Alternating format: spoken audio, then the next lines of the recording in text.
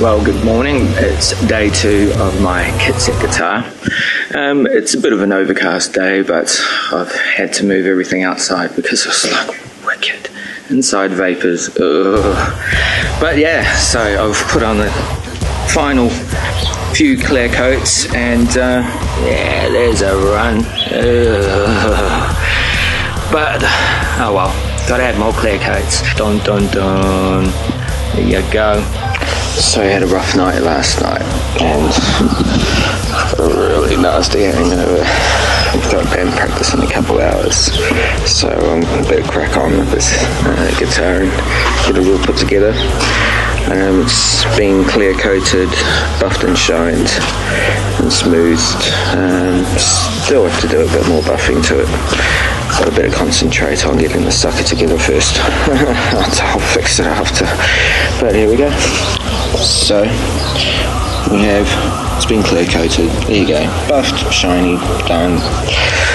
Playing it in a couple hours. Awesome. Hey, so uh, just got back from rehearsal. My ears are ringing and uh, feeling pretty hammered. Um, the guitar worked. Surprisingly enough, I bolted the thing together and uh, stringed it. Intonation was sorted, set the action, springs. Awesome. Pretty sweet.